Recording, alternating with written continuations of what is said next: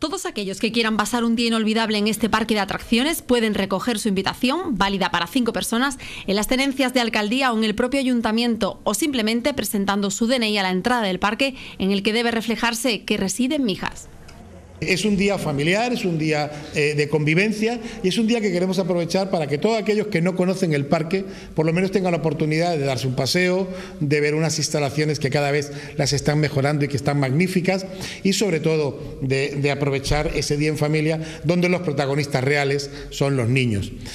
Además, habrá descuento en el Supertibolino para que los más pequeños pasen un día mágico en el parque de atracciones.